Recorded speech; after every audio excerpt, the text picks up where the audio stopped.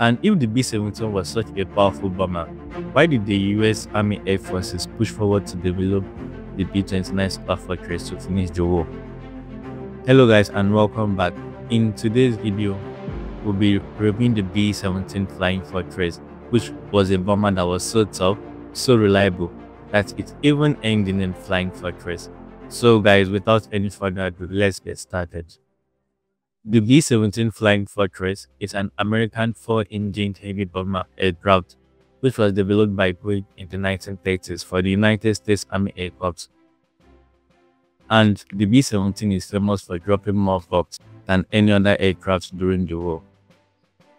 Behind the American four-engine consolidated B-24 Liberator and the German Water twin-engine Junkers Ju-88 the B-17 was the third most produced bomber of all time, with a total number of 12,731 units built by Boeing. Since the B-17 had multiple production variants, we focus on its final version, the B-17G, which was the final variant of the B-17s. The final production model B-17G measured 74 feet 9 inches in length, with a 103 feet 9 inches in wingspan and stood 19 feet 1 inch on its landing gear.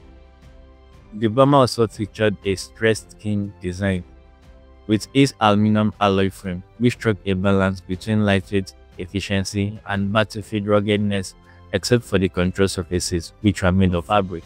4A cooled 9-cylinder Wright R1820 Cyclone radial engines, each equipped with a two-stage supercharger located beneath the engines provided propulsion for the B-17 and think of that supercharger as a little air pump on its engine which kind of like splashes extra air into the engine so it can make the engines even produce power when air gets thin at high altitude.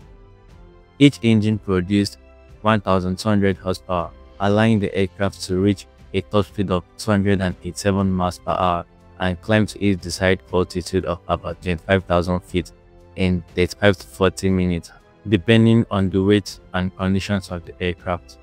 When empty, the B-17 weighed about 36,000 pounds and when fully loaded, takeoff weight up to about 65,000 pounds and that's 29,700 kilograms. Operating just below the common altitude of modern airplanes, B-17 increased at a speed of 170 to 180 miles per hour and could fly a range of 2,000 miles with a standard wartime bomb load. The B-17 also carried its fuel in a self-sealing tank built right into the wings with both primary and backup cells. And this was like a clever protective mechanism which was vital for staying aloft over enemy territory because when the tanks are hit, they would automatically seal or heal themselves to reduce leaks and fire outbreaks. Now let's look at how the B-17G's onboard systems were powered.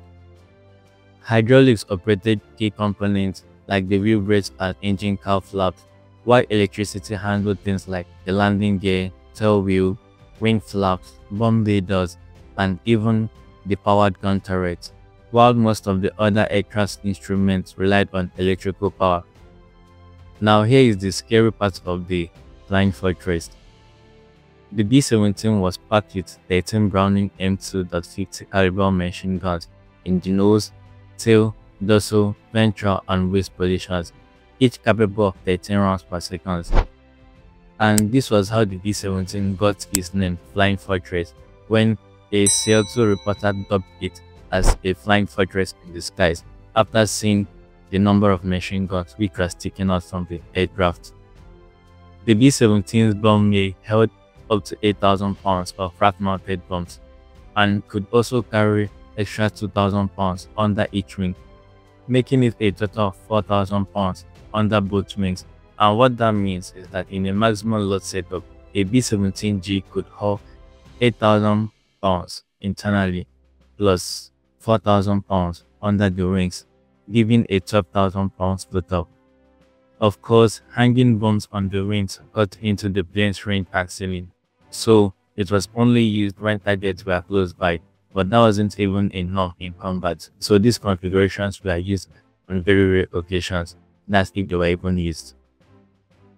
Stepping into the B-17G's flight deck, it finds the pilot and co-pilot seated side by side behind an armored windshield, surrounded by rows of analog gauges, switches, and circuit breakers, which every instrument played a vital role for controlling four massive radial engines. Just behind them, the flight engineer monitored engine's performance and manned the top-mounted dorsal turret, ready to engage enemy fighters. Up front, the bombardier and navigator sat behind bulletproof plexiglass windows in the nose, giving them clear visibility and vital protection from enemy fire. Between their stations sat the Norden bombsight, an optical marvel that provided unprecedented high-altitude accuracy, essential for precision daylight rates, which the B-17 was known for. In all, a 10-man crew held the fate of its mission on their hands, and thus the pilot and the co-pilot each flew and navigated the bomber in tight formations. The bombardier, which operated the Norden sight, and the remote control twin turret, a navigator which charted the course and doubled as the gunner when under attack, a flight engineer or top gun turret which kept the engines in check and defended from above, the radio operator which maintained communications with other aircraft and base, the ball turret gunner which was crammed into a spherical turret beneath the aircraft to guide the belly, and two waist gunners which covered the mid section flank, and lastly the tail gunner which protected the vulnerable rear.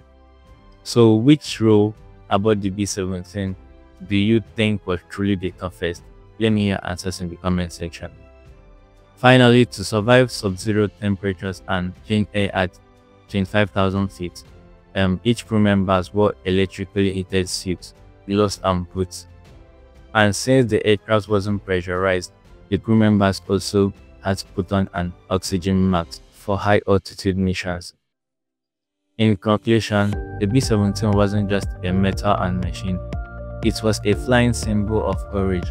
Time and time again, crew members flew into enemy fire, watched their friends fall, yet they pressed on.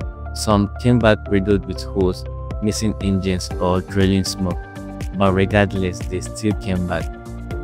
Also, every time, these bombers proved that courage and grit could be forged into aluminium. That's why the B-17 wasn't just called a flying fortress, it earned that name. It stood for resilience, grit, and the unbreakable will of those who flew it. Thank you guys and see you in the next video. Don't forget to like and subscribe to my channel. See you soon.